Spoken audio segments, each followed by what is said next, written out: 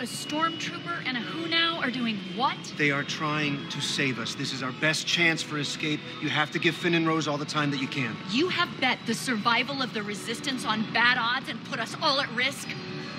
There's no time now.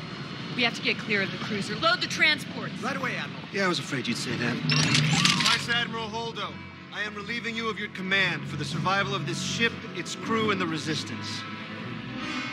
I hope you understand what you're doing.